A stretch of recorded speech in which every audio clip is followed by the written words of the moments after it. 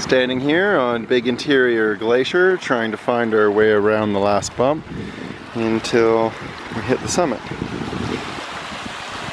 Cool little feature there.